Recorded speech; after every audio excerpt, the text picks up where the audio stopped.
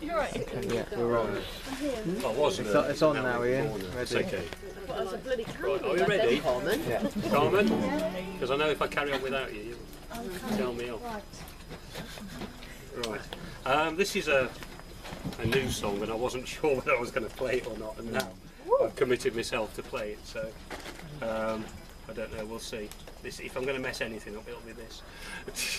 so we'll see.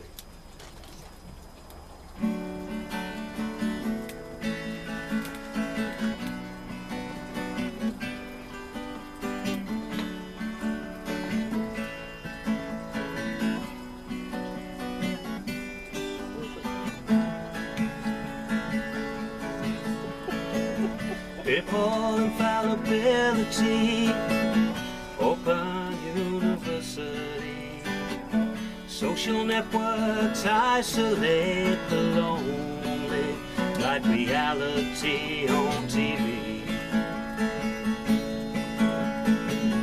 Emergency contraception for underage conception. The hangman's joke that follows you to the gallows. Infertile no inception. Be not the left or right, my friends. Liberals in mansions. The apathy of you and me, and mass incomprehension.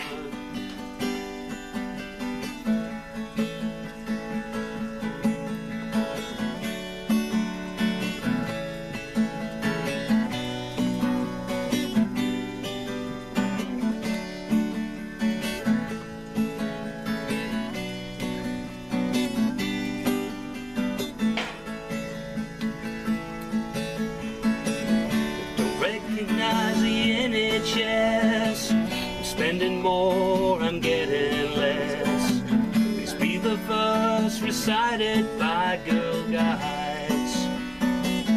Free watershed.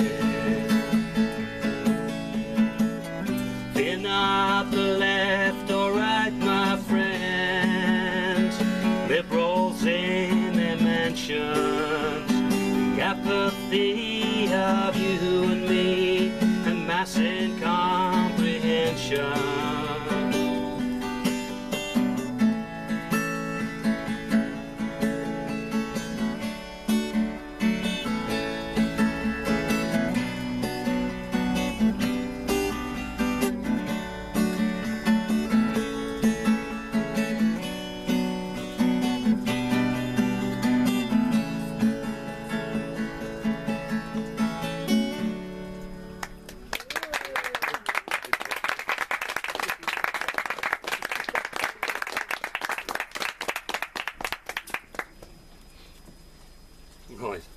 Read my monologue. I can, I can apologise to Carmen and Max because uh, Carmen's heard it several times in, the, in, the, in its making, and Max heard it the other night. So But don't give it. Don't tell him how bad it is before. We'll just discuss it. Oh, okay. I can probably hear that. You. Sure you're okay there? Fine. Because I've got one here. It's all right. Oh, okay. Wonderful. Okay. Uh, this is called Stella, and I'll. Um, I'm not going to explain why. it- Who's Stella? As I say, I'll explain later. Let me explain Ask later. So, okay. Stan? Hello, mate. You come to listen.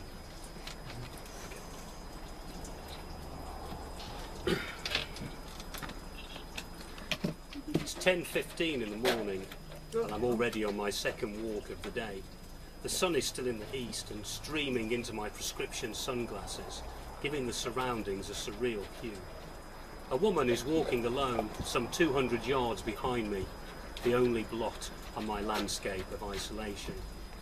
Rounding a steep bend, I consider that my left boot requires tightening to bring it into balance with the comfort of the right. This delay has allowed the lone female walker to catch up.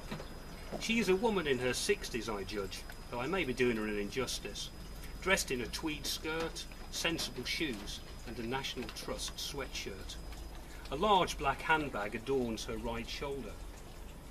We make eye contact and she speaks, just the usual pleasantries, the weather, the view. As she moves on, I fall into step beside her and the conversation continues. Well, she has clearly listened to the Today programme this morning as she repeats a soundbite regarding the ubiquitous politician involved in his particular scandal.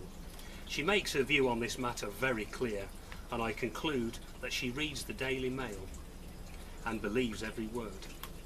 I hesitate to ask her name and usual place of residence as I fear that her responses will be disgusted and Tunbridge Wells.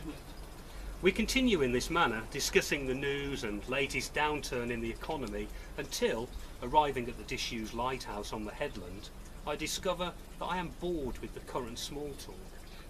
A perfunctory glance in either direction confirms that we are completely alone. I resolve to break the tedium.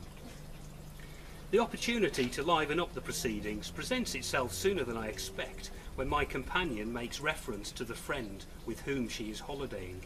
I move close enough to invade her personal space and ask, is it a man friend or a lady friend? She recognises the subtext immediately, and I silently commend her perception. She takes a step back from my grinning, inquiring countenance, roots around in her handbag with her right hand, and when it reappears, she's holding a small black box with a wrist strap. The two elements are parted, and the silence is shattered by a shrill wailing sound. A rape alarm. I laugh and raise my voice to be heard above the din. Ha! Don't kid yourself, Grandma. I'm just having a bit of fun. Her left hand disappears into the handbag, and it emerges holding a small aerosol can.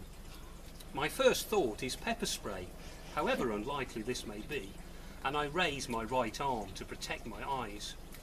I am wrong in this hasty conclusion, recognising that she is attempting to ward me off with a can of impulse body spray. There is only one way that I can see to respond to this turn of events. I present her with a swiftly picked bunch of wild flowers, waiting expectantly for her to laugh at my rapidly improvised joke. But no, she simply begins to scream. I hesitate for a moment to listen to the odd harmony created by the combination of scream and rape alarm, and to shake my head in disbelief that she didn't see the connection between the impulse spray and my offering of flowers. Funny how wrong one can be sometimes. Then I do what any minded individual would do in such a situation. I get the hell out of there as quickly as possible. Shut up! And as I run down the hill, I let out a piercing scream that completes a chord with the sounds already present. My only regret is that I didn't have the foresight to bring a recording device with me, but then I hadn't foreseen this happening. By the time I pass through the gate at the bottom of the hill, the scream and the alarm have stopped, as if five bars of wood offered the protection of a closed door. Turning and walking away, I don't worry about consequences of my actions because I know that she and I will meet again. Know that I have nothing to fear. Know that the first dwelling she will arrive at, walking in either direction, will be mine. I imagine the look on her face when, seeking refuge in the quaint little cottage, she realises that once again she is confronted with me. I can see her laughing at the irony of the situation before joining me for a cup of herbal tea and a chat. I can hear our conversation as it veers from 19th century Russian literature to the films of Pedro Almodovar, the songs of Jacques Brel. I can see her expression when I tell her that my question regarding the gender of her companion was, after all, superfluous, that I knew all along. Can see that same expression change when I inform her that the reason I know is due to the fact that her lady friend is tied up in my woodshed.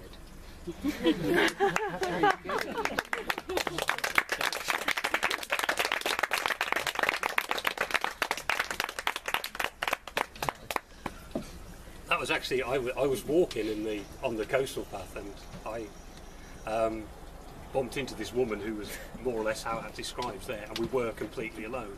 And I just thought, well, I just imagine how she would react if I when she because she said about her, I've been on holiday with a friend, and I just thought, I wonder how she'd react if I said.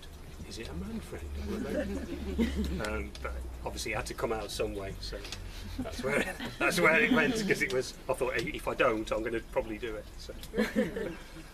um, I'll probably do one last song and then I'll shut up and get someone else up again.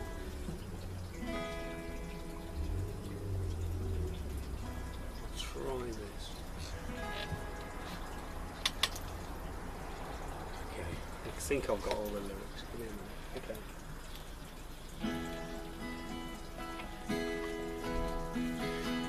When a ship is sinking and they lower the lifeboats, hand out the life jackets, then keep on their coats.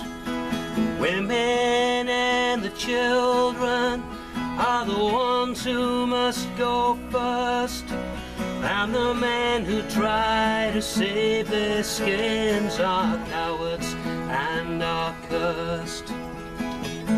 Every man's a captain, men know how to drown. Man the lifeboats if there's room, otherwise go down. It's the same when there's a war on. It's the men who go to fight. Women and children are civilians. When they're killed, it's not right. Men kill men in uniform. That's the way war goes. When they stay, they are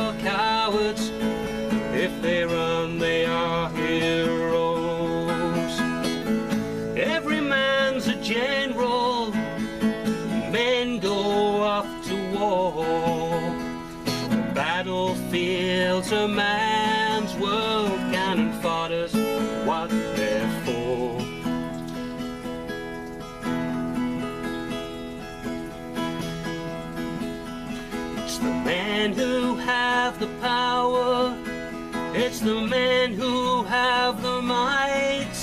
And the world's a place of horror because each man thinks he's right.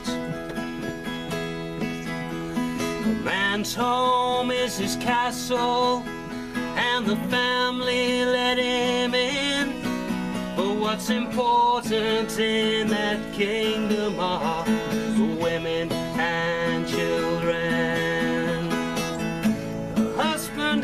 father, every man's a king. But he's really just a drone, gathers no honey, has no sting. Happy the general king and the captain. they know they're expendable after all their men.